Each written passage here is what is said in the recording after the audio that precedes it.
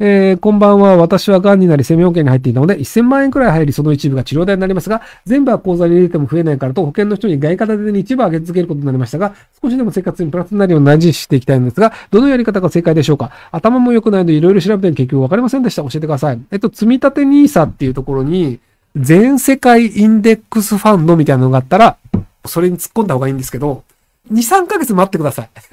ウクライナ、ロシアの戦争の前であれば、それが確実に正解だったんですけど、今ちょっとあの、世界の経済情勢がどうなるかわからない状態なので、あの、今は現金で持ってるのが一番安全だと思うんですよね。なので、あの、外貨も何の外貨にかによるんですよね。ユーロとかちょっと下がってたりするので、で日本円も下がってるので、ドルだったらまだいいかもしれないですけど、ただまあ、ロシアが何するかまだわかんないので、ひょっとしたらアメリカドルも下がるかもしれないので、今はなんかあの、どれかに貼るっていうのをやらないで様子見の方がいいんじゃないかなと思いますけど。ただ日本円だけでもし続けるも、それはそれでリスクだと思います。えー、今日はアメリカがロシアからの原油輸入停止を、えー、原油価格が高騰し株価は暴落しました。えー、この物価上昇は日銀が長年目指しているデフレ脱却ではなく、悪いインフレであるスタグレーションが、スタグフレーションであると考えますが、需要を抑えつけようと金利を上げればオーバーキルが起こる可能性がありますが、国内経済安定化政策としては何を考えられるでしょうかえっと、もう金融政策で何とかしようとするのやめた方がいいと思います。はいなので、もうあの、金融政策で日本の経済がどうぞこうするのは不可能なので、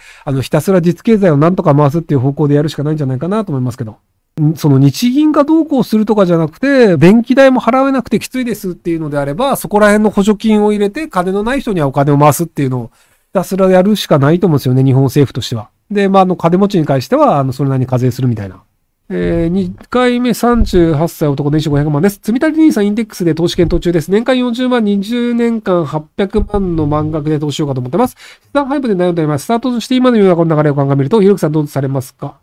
別に普通になんか NISA でいいと思うんですけど、ただあの、最初のうちはあの株主優待券もらえるやつのがいいですよ。あの、株主優待券で、まあ、例えばそのなんか2万円分マイク、あの、マクドナルドの株主優待券もらえると、まあ、マクドナルドで2万円分食えるので、一応2万円分の出費を減らせるという計算も立つんですよ。まあ、外出て飯をなんか1年間になんか2万円分ぐらい食うよねっていう時に、飯食いに行く先をマクドナルドにしとくと、2万円現金が手に入ると同じ計算になるんですよ。なので、その株主優待でもらえる金額っていうのが実は現金であるっていうふうに計算すると、実は結構お得だったりするんですよね。なので、その配当とか株価だけじゃなくて、その個人で、そんなに多額を使う場合じゃない場合は、株主優待っていうのも計算に入れるといいんじゃないかなと思いますけど。桐谷さんがやってるやつですね。はい。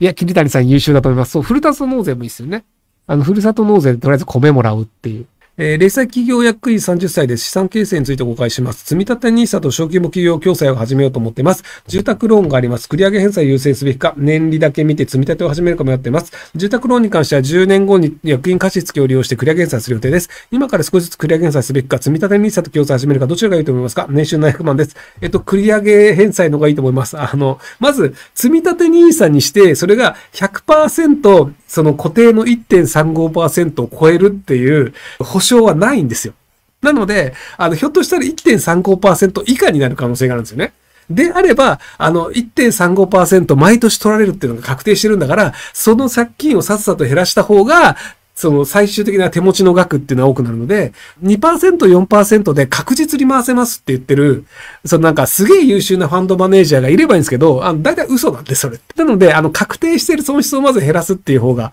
長期的には安全なんじゃないかなと思います。はい。婚約者に積み立 NISA でインデックス投資をしていて、結婚後も継続する話をしたところ、投資は怖いやめてほしいと言われました。どう説明すれば理解してもらえるでしょうか？うーん、バカなんじゃないかな。えっと、1000万円以上を銀行の口座に入れとくと、その銀行が潰れた時に1000万円以上のお金は返ってきません。あの、インデックス投資っていうので、じゃあその、まあ今までインデックス投資って50年以上あるんですけど、いつの時点で投資してどれくらい減ったかっていうので、たまたまじゃあその、バブル絶頂期に投資して、で、そのバブルの崩壊した後に換金しようとすると損するんですけど、バブル絶頂期に投資しても15年後に換金してるとプラスになりますっていう例をグラフを出して数字を毎回説明して、なのでインデックス投資をするけど20年以上は換金しないよ。で、20年以上かけて損したことは歴史上存在しないので、もしでもこれを銀行口座に入れておくと銀行が潰れるっていうのは、じゃ今まで潰れた銀行ってこんなんなるよね、こんなんなるよねっていろいろあるじゃないですか。なので、銀行を潰れる確率と考えると、インデックスファンドの方が安全だよね、みたいな話をするといいんじゃないかなと思います。え、58歳で数年前にセミリタイヤしており、小さな会社を起こし、年収200万から300万で遊びながら生活をしています。出勤は約8000万、住まいは都心から電車で30分の駅から徒歩5分のところで100坪ほどです。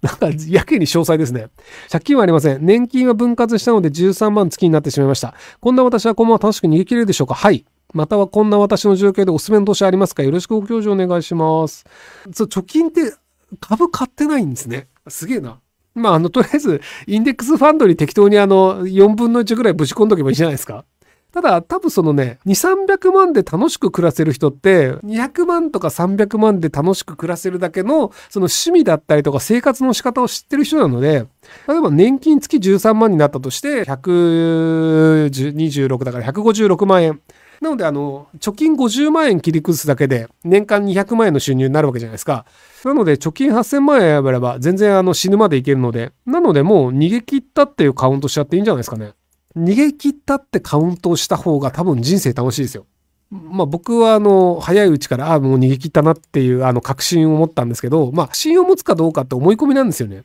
例えば僕がじゃあその預けてる銀行があの突然全部なくなってしまいましたっていうとその1個の銀行あたり1000万円しか保証されないわけじゃないですか日本だとね。っていう感じでその実はお金ってなくなるかもしれないし買った株の会社があの全部倒産するかもしれないんでひょっとしたらそうならないかもしれないんですけどまあ多分大丈夫だろうって思い込んでるのでこう嫌な仕事をしないで楽しく暮らすっていうのをやってるんですけどなので、そういう感じの方が人生は楽しいと思うので、まあ、要はあの低いコストで暮らせるっていうのと、あとまあ人生そんなに長くないっていう、あと50年は生きないじゃないですか。100超えるまでは。なので、そう考えるともう逃げ切ったって考えてもいいんじゃないかなと思いますけど。と働き方完全無双的にたまたまそこにいたものです、えー、2点書きます。日銀がこれだけお札を吸っておりインフレの心配をしています。仮にひろゆきさんがリスク分散するとしたら米ドルユーロとの現物がいいのかもしくは暗号通貨なのがいいのかリスクが少なそうなのはどんな資産と思いますか、えー、ちなみに米国の積立保険はハワイでありました。あと僕の名字ってひろゆきさん見えるんですか？えっと西村さんですよね。はい。えー、っと多分分散するしかないと思うんですよね。そのアメリカもどうやばくなるか分かんないしユーロもどうなるか分かんないしっていうのがあってただその現物を持つのって僕はあんまり賛成しなくて要はその現物って日本円とかねその札束を家に置いとくってめっちゃリスキーなんですよ。その泥棒が入るのもそうだしなくすのもそうだしそのなんかたまたま見つかんない時にその家族をなんか疑うことになるとかっていうのもあるのでその別に銀行口座でいいんじゃねって思うんですけど普通に銀行のあの外貨定期預金とかを持ってればいいんじゃないですか、まあ、あとは僕はあのインデックスファンドがいいんじゃないかな派ではあるんですけどはい。なんだろうな。あの投資をしてその資産を守るって2つあってもともと資産がある人がじゃあ資産がありますと。でその資産っていうのが日本円ですと。でその場合ってその日本が悪くなった時に日本円の価値も下がってしまうので損しちゃうわけですよ。なので日本が下がったとしても自分の資産は減らないっていう安全のために他の国の通貨だったり他の国の株を抑えるっていうそもそも金持ちに対する資産運用のアドバイスっていうのとじゃあ普通にサラリーマンです。貯金が300万円です。でその人がお金を増やしたいですって言った時に対するアドバイスって全然違うんですよ。ただ投資をして金稼ぎたいって言ってる人にじゃあその NISA と iDeCo はやってますかって聞くと結構知らなかったりするんだよねお金を稼ごうと思うのであればまず調べましょうそうお金でかなんか投資して儲けたいと思うんだったら投資の世界っていうのはすげえ金持ちで頭のいい人も同じように戦ってる状況なので投資をする時にどういう情報があってどういうものが得かっていうのはまず調べてそこからスタートするべきなんですよ。それも調べないでなんとなく Google すごいから Google 買っちゃえとかっていうのはちょっとどうかなと思うんですよ。楽天にじゃあ投資をしたいと思いましたと。でなんか楽天はなんかサッカーチームとか持ってるしきっと伸びるんじゃねみたいな。じゃあ普通に楽天の株を買うよりもじゃあその NISA の積み立てとか NISA で買った方が儲かった時に税金取られなくて済むとかっていうメリットがあるんですよ。なので普通に株を買うよりは NISA 経由で買った方が100%得なんですよ。要はそのま NISA の枠があるんだけど普通に買う場合は年間100万80万だっけ？で積み立てだと60万だっけ？まあなんかその枠があるんだけどその枠の範囲内で買うんだったら普通に買うよりは NISA 経由で買った方が100%得するんですよ。100%得する情報って世の中そんなにないんですよ。なのであのとりあえず NISA 経由であ120万か。NISA 経由で買った方がいいよねっていう至極当たり前の話ってある程度調べれば分かるんですよ。ただまあその年間に1000万以上投資しますっていう人だったらその NISA の枠は足りないよねとかってなると思うんですけど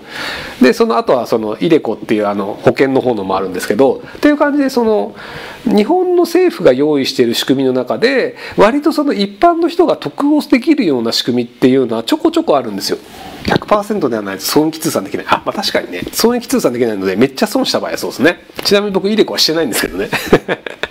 僕その日本で納税してるわけではないのではい。